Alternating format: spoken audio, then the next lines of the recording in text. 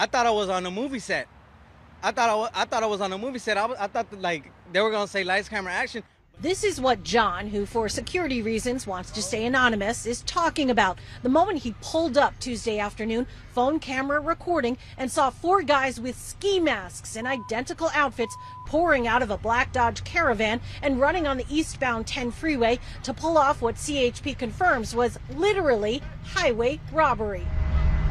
Investigators say the crew had a hammer and a crowbar as they rushed toward a black Alfa Romeo that CHP says they intentionally crashed, using the tools to smash the windows. Another angle taken by another witness is even closer, showing the masked men yelling and frantically going through the Alfa Romeo. They seem to focus on the trunk as the driver is on his knees, hands in the air. I feel like they knew who he was. They knew what he had.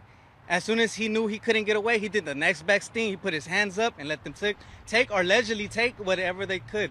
All I seen was guys in masks, and that's it. They took, they, they ransacked something and they took off. John says he'd started recording a few minutes before when I seen a car flying right past me with a flat tire and another black SUV, all tint, chasing him. The tire was sparking. He was like he wanted to get away, like he he was running for his life. he followed They were just recklessly moving through the lanes. and soon caught up with the chaos on the side of the freeway. He saw the suspect's black van, the victim's crashed car, a red Mustang that CHP says was also hit, and then this white Chevy Malibu, the getaway car. But it was all real. It was real life.